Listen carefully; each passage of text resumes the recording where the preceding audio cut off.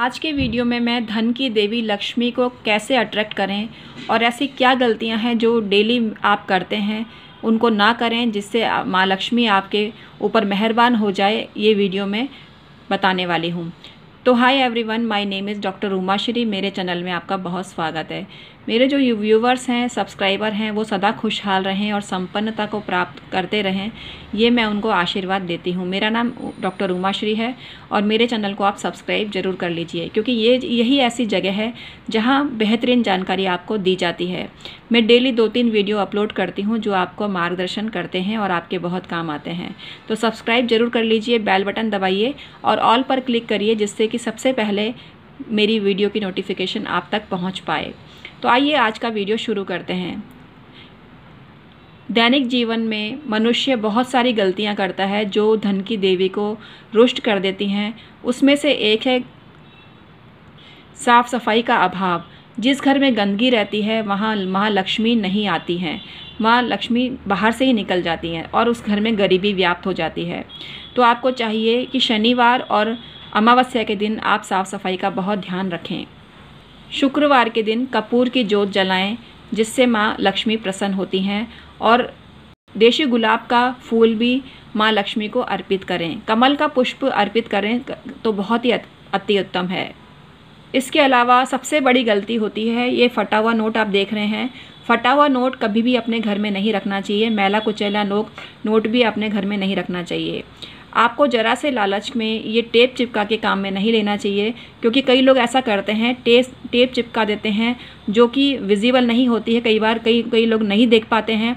कई लोग तो ले ले लेते हैं फटे हुए लो नोट तो उसमें कोई दिक्कत नहीं है आप बता के देवें कि मैंने नोट को जोड़ के दिया है तो कोई दिक्कत नहीं है। लेकिन आप बिना बताए किसी को आ, मतलब चूना लगाते हैं तो ये गलत बात है।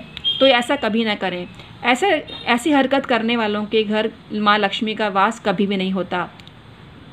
जो करें, बता के बता के करें।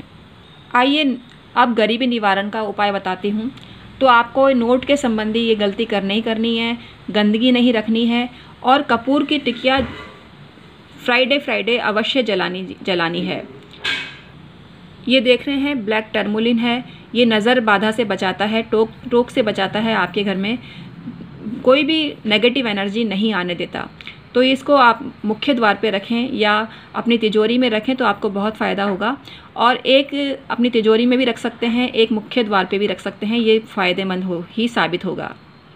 ऐसा करने से आपके घर में धन धान्य के भंडार भरे रहेंगे और आपके घर में बहुत पैसा आएगा। सफ़ाई शनिवार को करें, बहुत फ़ायदा होगा।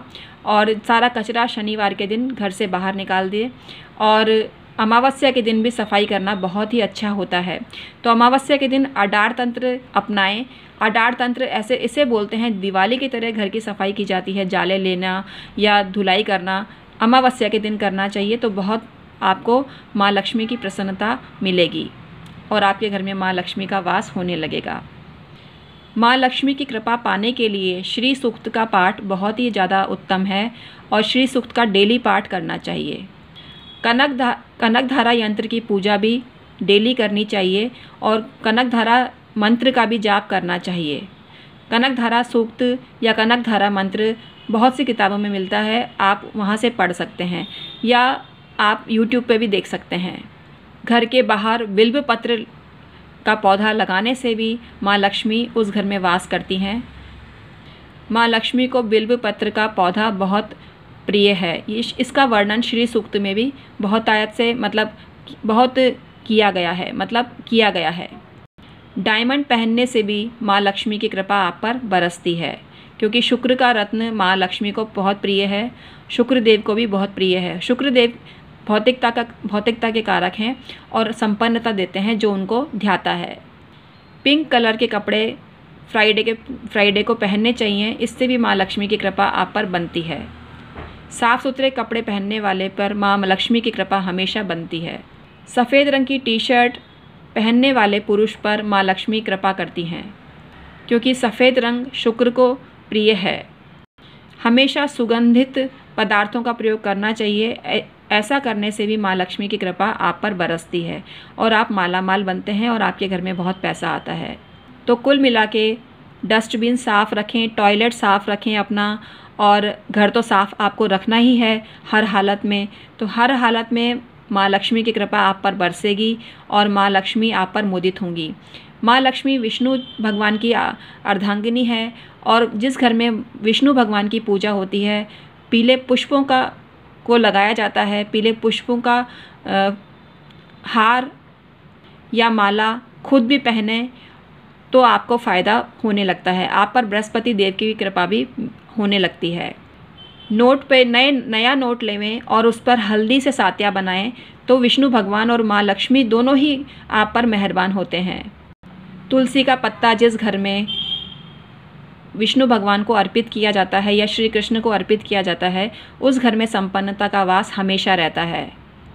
पीली मिठाई या पीले लड्डू का भोग भगवान विष्णु को अवश्य ही लगाना चाहिए।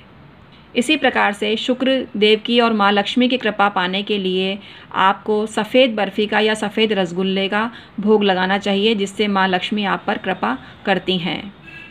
तो आज का वीडियो मैं समाप्त करती हूँ। आशा करती हूँ आपको पसंद आया होगा और आपके लिए लाभदायक साबित होगा।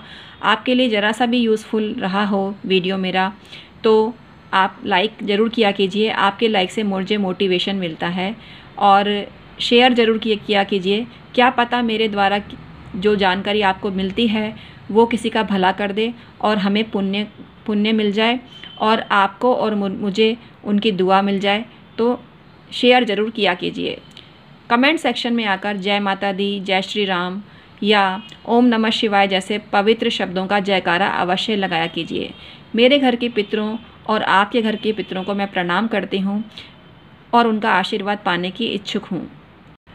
तो आज का मैं वीडियो समाप्त करती हूँ। परामर्श लेने के लिए डिस्क्रिप्शन में ईमेल आईडी के थ्रू आप डॉक्टर उमा श्री से संपर्क कर सकते हैं, यानी मुझसे संपर्क कर सकते हैं। मेरे हस्बैंड लामा फेरा करते हैं, रेकी हीलर हैं और एंजल भी, एंजल हीलिंग भी करते हैं। ये काम वो डिस्टेंस में करते हैं, डिस्टेंस हीलिंग करते हैं।